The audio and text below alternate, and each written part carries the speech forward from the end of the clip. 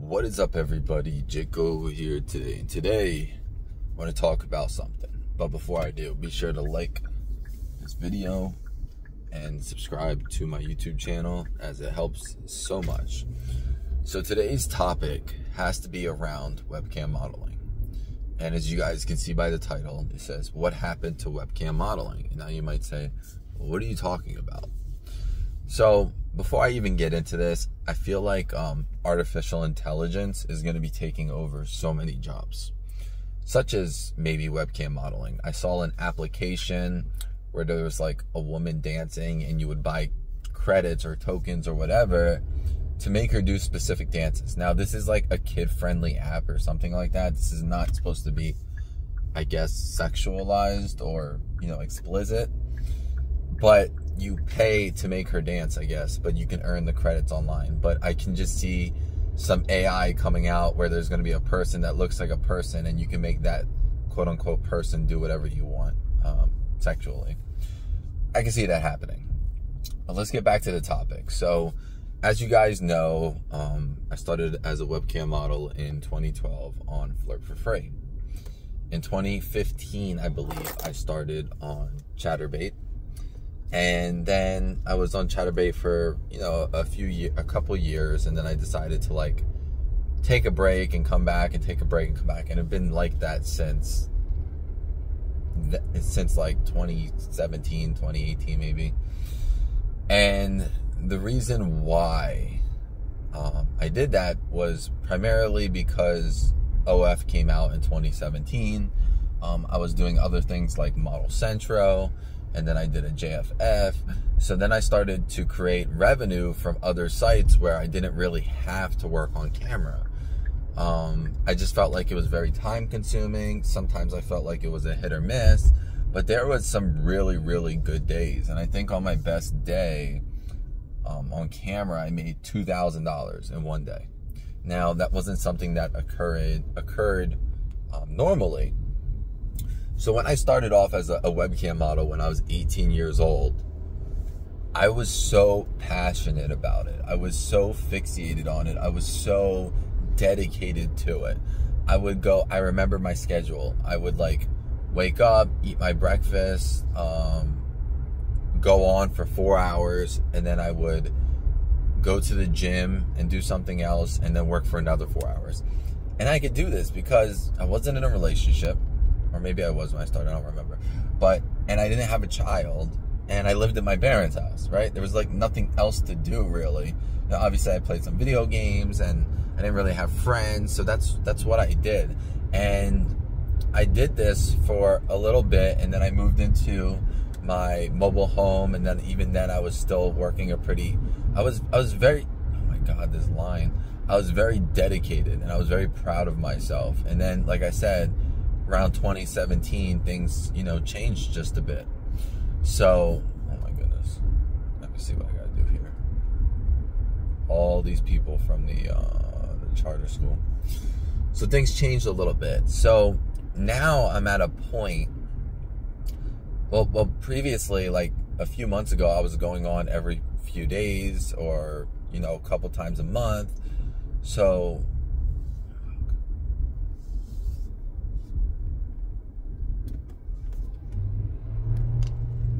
there we go.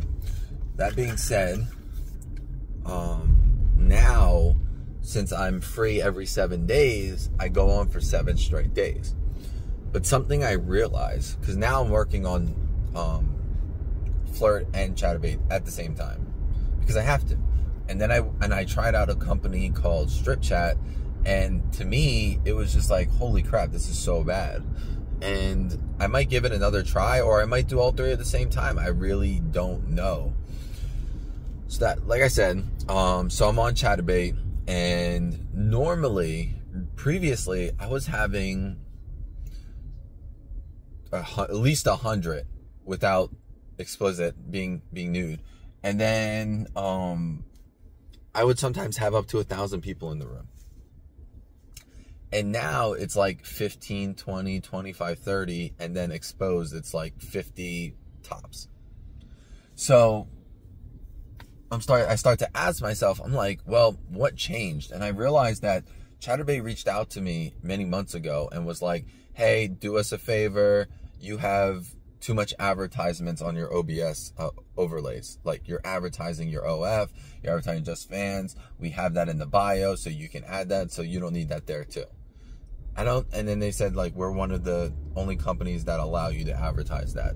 So previously they didn't care. So this new, I guess, rule that they're coming up with, and I didn't know how much they were enforcing it. So I didn't really take it off until like just a couple weeks ago. But then I started thinking in my head, I'm like, well, maybe they're like pushing me back because of this. And then I reached out to them. They're like, no, we don't do that. But then they also have a, a button called feature me or whatever, or promote me, where you're literally paying to be at the top of the page or something like that. Now, keep in mind, when I looked for myself on the pages, because there's so many pages of people, when I look, I feel like they need to be more strict with who they allow on the site because I feel like there's just so many, and I get it. People want plentiful of options, and that's cool and all. Oh my god, I don't know why traffic's so bad. I mean, I guess school, but still, it's just freaking awful.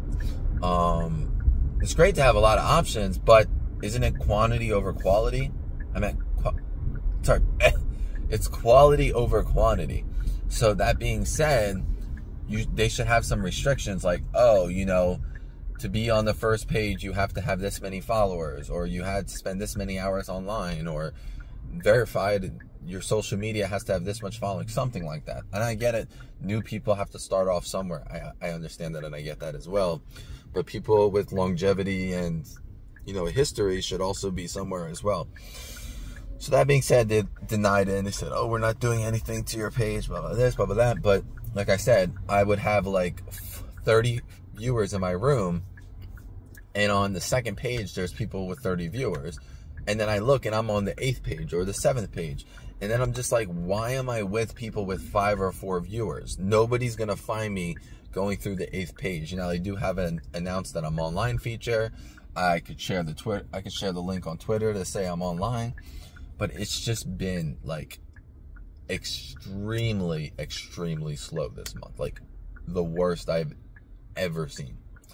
And the other side, you know, is not that much better. Now, yes, it's you know it's extra income, and no, I'm not doing two four hour shifts. Maybe that's why. Maybe it's like, hey, if you're only on for two hours, that's that's not enough. You need to do four and four. But realistically, my life is different, right? I am with somebody. I do have a child. So those are different things to consider and it's just like man is is is web is webcam modeling falling off and the reason why i'm doing this is because everything else is just so slow that i'm like hey i have to do this in order to like make it to make it by so one second so yeah, it's just it's just really really tough, and I, I think the site is irrelevant because I know Chaturbate brings in one of the most amount of viewers, and I know Strip Chat does, and I know you know Flirt for Free does. Obviously, they're a different type of you know fan base, but it's it's a lot, and with um, Flirt for Free, the the commission is so much less unless you make a specific threshold, which I'm not going to announce, but it's rough it's really, really, really rough. So just trying to do my best, keep my head up, think positive, you know. I'm at a point where I'm just like, what is the next step to not only make my fans happy, but to make more money in general. And that's why I was talking about the virtual shows. But I think a lot of people got confused in my last video that I said I'm going to make four videos with guys per month online. That didn't mean like together in person. That meant me, screen, video chat, two people, and you're seeing that person, you're seeing me, and it's like a role play scene type thing. So if you guys saw my last video and you thought that I was saying that that's going to be in person videos, then you got miscon- you got confused or I didn't clearly explain myself right. So I just want to make that clear that what I meant was, let's just say on a Zoom call, me and another performer, and we're working and then I'm recording myself and I'm recording the screen and maybe I can get the person oh maybe not. We'll see. But yeah that would be that. And it would be four videos per month for the $25 not saying four videos of me with another person in person for $25 that's something I, I personally wouldn't do I would just sell it directly like I did with the Vadim videos all those years back I mean that's what I would do to, to make the most profit because I couldn't make enough videos to um, keep keep keep up a um, a fan site. Sorry, I'm paying attention to my driving. It's just so much traffic. So that's that's what I meant by that, and hopefully that clarifies and gets rid of any type of confusion. So thank you guys so much. Again, if you're not subscribed, please subscribe. I'm on my way to the gym. The time changes in a few days. I think a few days and I don't know if it's gonna be darker. That is one like I'm a very smart individual, but when it comes to time change, like I don't know in the mornings if it gets lighter or darker faster. So the clocks are going back an hour.